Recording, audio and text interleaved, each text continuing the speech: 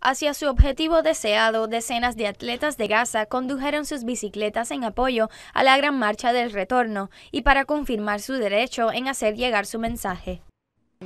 Dirigimos nuestro mensaje. Si recuperamos nuestra tierra, recuperaremos nuestros derechos. El mundo nos ignora. Nuestro pueblo bloqueado en la franja de Gaza y fuera de la franja. Nuestro mensaje también para nuestra gente en la diáspora. Que Dios los traiga de vuelta a su país, a sus propias ciudades. Los habitantes de Gaza cuentan con los eventos deportivos para plantear sus problemas nacionales, especialmente el Día de la Tierra en su cuadragésimo segundo aniversario, que se celebra el 30 de marzo. Luego que la ocupación destruye la tierra, sus dueños vuelven a revivirla. Cuatro mil hectáreas de áreas fronterizas han comenzado a ser reforestadas. Aquí los palestinos fortalecen sus raíces para el desafío.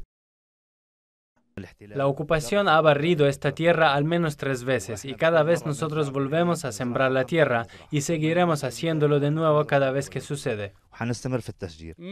No importa cuántos actos de opresión las fuerzas de la ocupación lleven a cabo como destrucción, nivelación de tierras y robos de las mismas, debemos permanecer firmes en nuestra tierra. Con cada planta sembrada en esta tierra, el palestino reafirma su derecho a ella, donde no hay supervivencia para un ocupante, siempre y cuando el propietario de la tierra se aferre a ella.